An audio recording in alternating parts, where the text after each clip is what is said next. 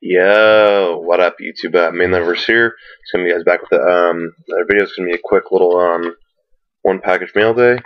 Got this from um,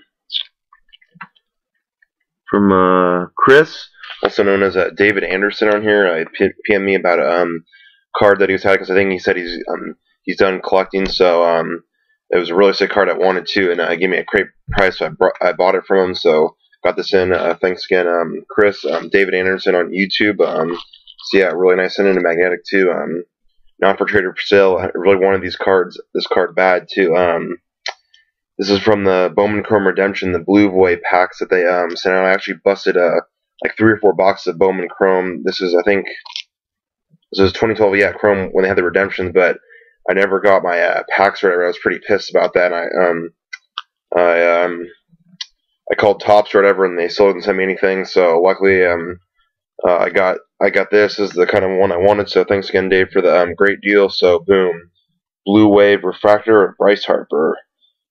Very nasty, very nasty card. Love it a lot, especially for the color refractor PC. So not for trader for sale. Definitely holding on to that. So thanks again. Should have been getting a couple um, some more packages in, but I guess mail's been fucking weird around here. I mean, fuck whatever. Um, all right, yeah, I hope you guys enjoyed. All right, YouTube, thanks. Bye.